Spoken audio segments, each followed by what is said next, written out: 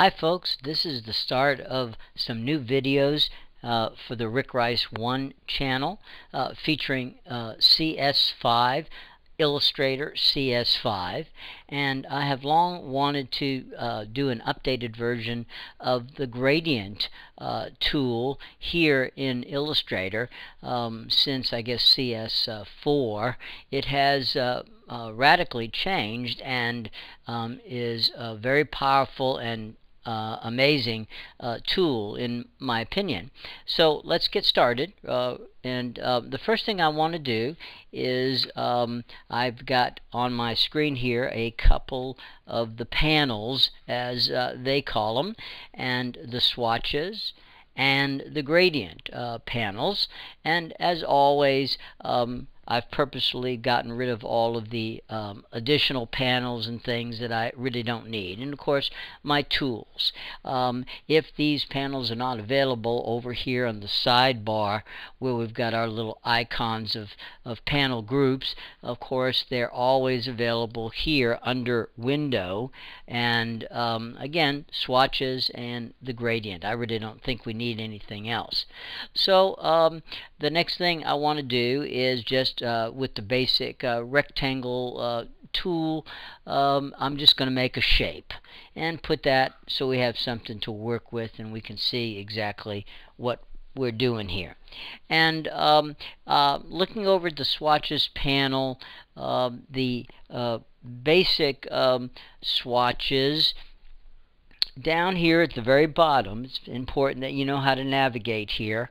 Um, and down here at the, the bottom, I can say show all of the various swatches, just the solid colors or the gradients, see all of the swatches. It's kind of busy, and so I purposely um, simplified it again, and I went here and I said, just show me the existing gradient swatches. And uh, the reason I did this is because it sometimes can be a little bit confusing when you first pull up the gradient tool. Um, it tends to default to black and white and it can be a little bit disconcerting uh, to get the color going. So I find that it's easier to just uh, pick uh, one of the the few um, uh, that exist and then modify it and go from there. And I, uh, this one is a good one, this uh, Jamaican flag looking color band. Uh, so I'll click that and of course my shape is selected and active so that anything I do will be represented and uh, will change automatically. Also, my gradient bar right here, um, this can be resized and um, this may be fine for you, but just to point it out, the bottom right hand corner, bottom right hand corner, I can pull it and um, make it larger and a little bit more easily uh, visible. So um, now um, let's uh, uh, briefly go through the basic tools of the, the gradient. Uh, remember, you can always go back to the um, uh, one that's already on uh, the YouTube collection for CS3. Um, and you'll see um, that much of these first few things we're going to talk about um, is no different here in CS5. CS5, Creative Suite 5, as it's called, with Illustrator, Photoshop, and InDesign. Um, so, uh, let's see. Uh, the uh, first thing I want to look at are the basics of the gradient uh, tool or the gradient bar as we call it and um, Another uh, quick thing I want to show you before I forget, go back here to the swatches.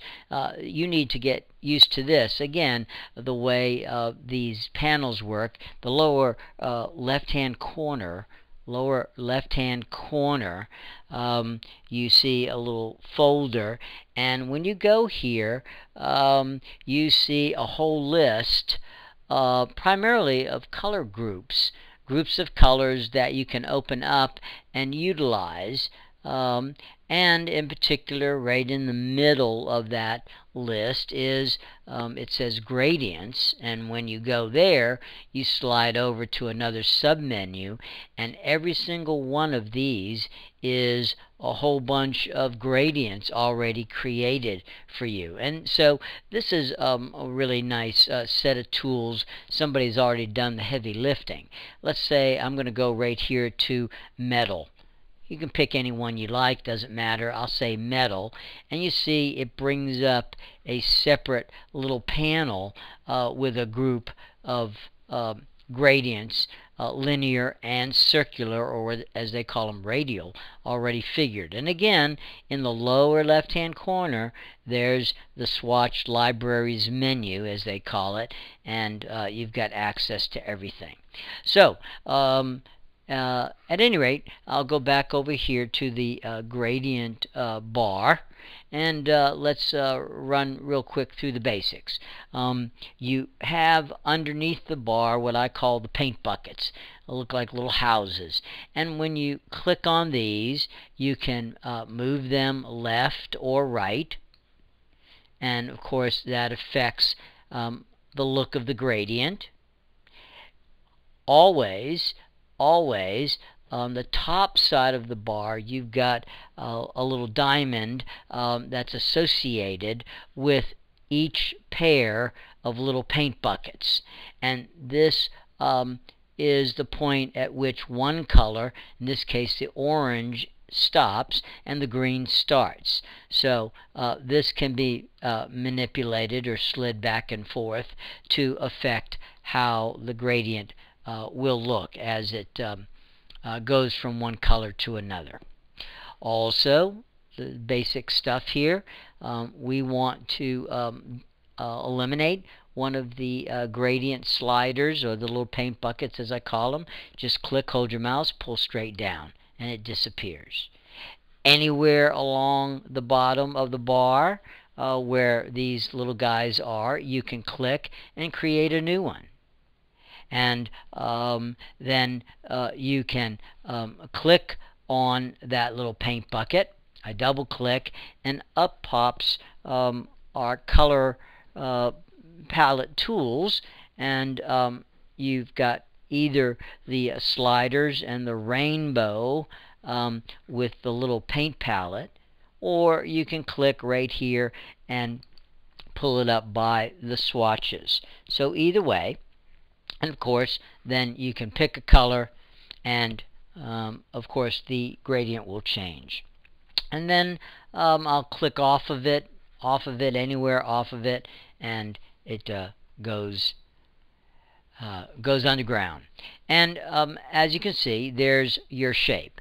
The um, couple of other quick little things, reminders, once you um, create a gradient, sometimes you may want to keep it, even if you're not sure you need it right now.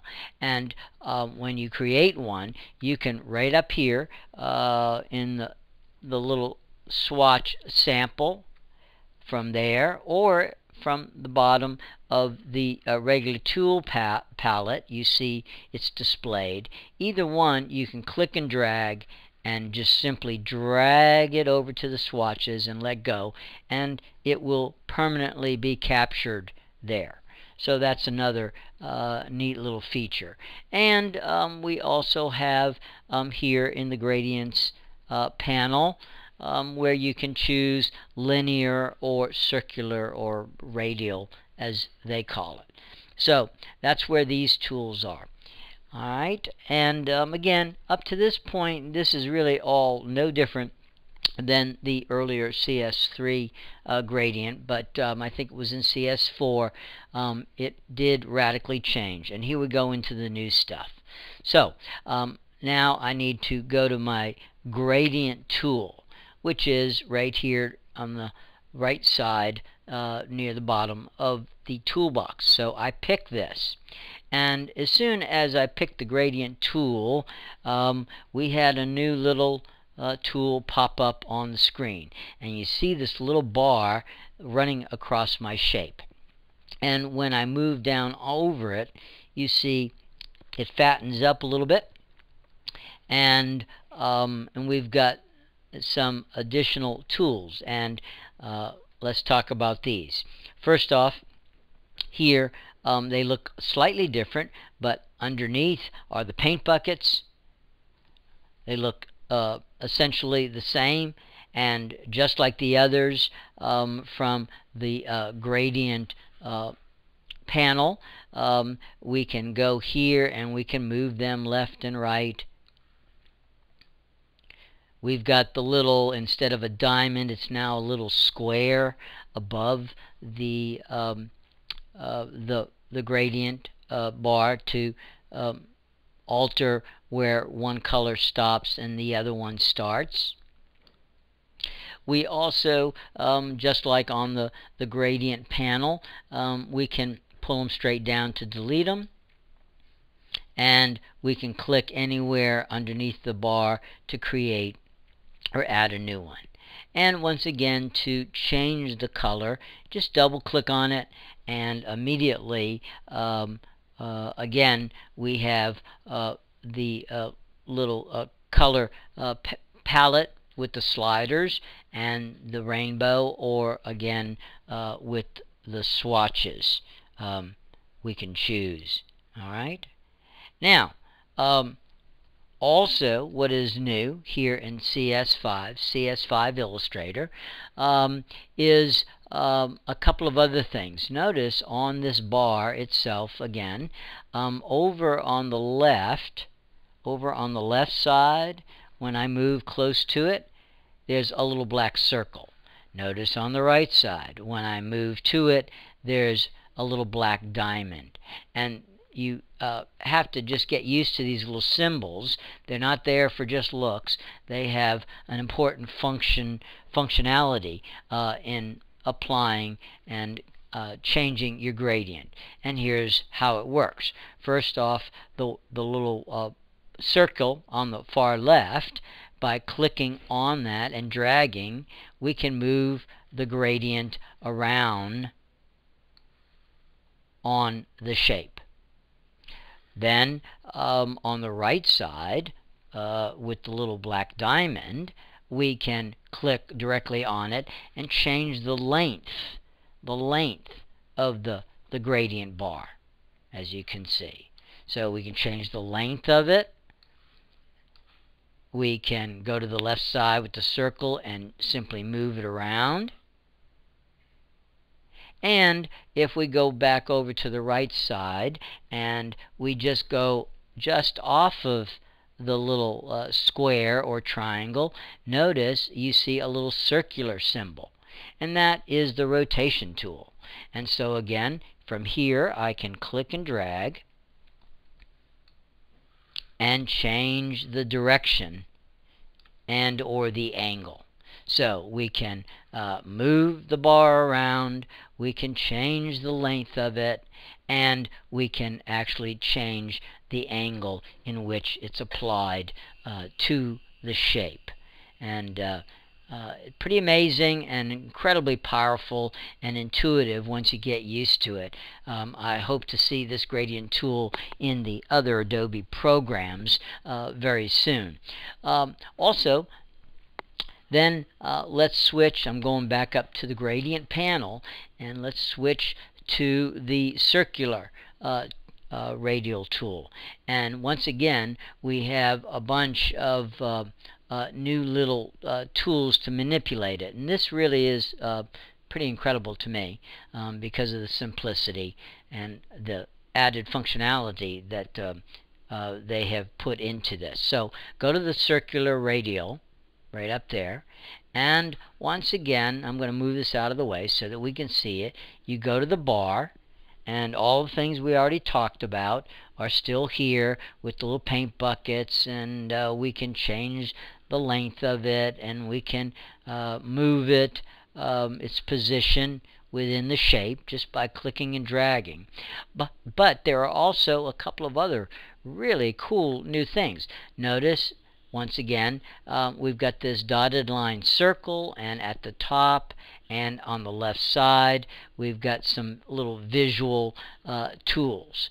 And here, it's um, just with the click and drag of your mouse, um, Pretty amazing. First off, I can change the size at the top. I click and drag, and I can change the shape, the shape of the gradient. Okay. Um, and it uh, you can infinitely uh, change it to uh, your heart's delight. And um, so that's not only not only is that new, but then again go to the left side, the little tool here, and we can quickly make it bigger or smaller once you've created sort of the shape uh, that you want. Okay, and then um, just like uh, the regular um, gradient tool, once again, um, notice when I move uh, in several places right off of that little top circle, I can then rotate it. And so um, we can change the shape of it, we can change the placement of it, we can change the overall size of it, and um, uh, it's completely controllable um, with the simple click and drag of these little symbol uh, tools right on the gradient. And it really is something um, quite spectacular. You can do beautiful gradients. For instance just uh, from a, a, single color down to a white highlight and then put that on a globe and have these beautiful three-dimensional um, uh, looking uh, gradient uh, airbrushed shapes. And um, it's uh, something real special so anyways, um, that's about it for today. CS5, um, Illustrator, and um, uh, hope you enjoy this and look out for some new ones, some other new ones soon to come. Thanks.